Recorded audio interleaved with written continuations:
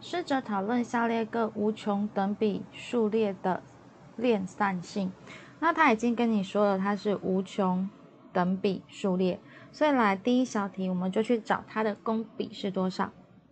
好，n 带一进去的话是二乘三的一次方，然后呢，n 带二的话是二乘上三的二次方，所以你就可以知道我们的公比是多少。好，第二项去除以第一项，所以公比叫做三。那三比一大。所以我的整个数呢，就会越乘越大，越乘越大。所以我们整个数就叫做发散。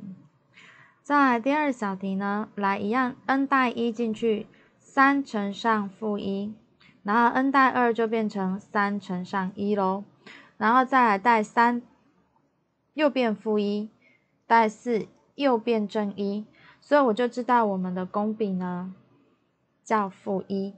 可是啊，负一一负一一负一一，所以到最后它是负一还是一？不知道，对不对？所以它也是发散。好，只有什么时候是收敛的？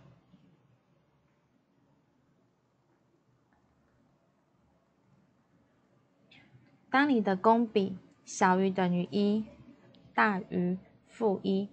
其实你也可以记它是在于一跟负一之间，但是负一是不可以的，因为它会跳来跳去，跳来跳去。那介于一跟负一之间的话，就代表说它的这个数呢，会这样降降降降降降降降，到最后会趋近于零，可以吗？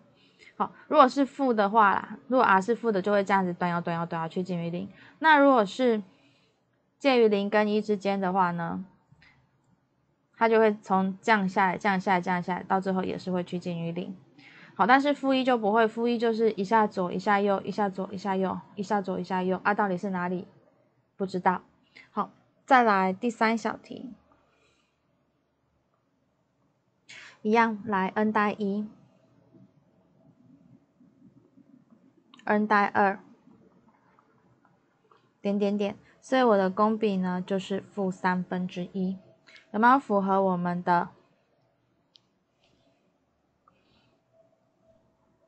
小于等于一，大于负一？所以呢，终于找到一个会收敛的喽。